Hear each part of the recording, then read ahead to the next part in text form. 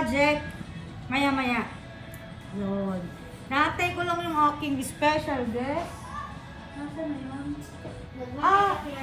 Nag-may make-up ha. Ayun. Abangan nyo, kaabang-abang. Bye!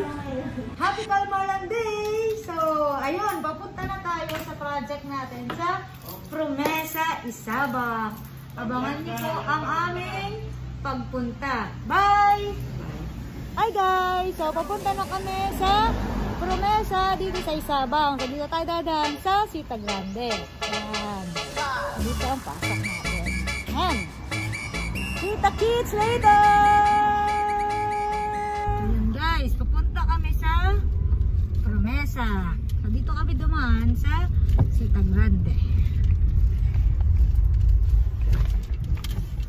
Yan. So, kasama ko si Ate Edlin. Say hi, Ate Edlin. Yan, ang sexy ng driver ko, di ba?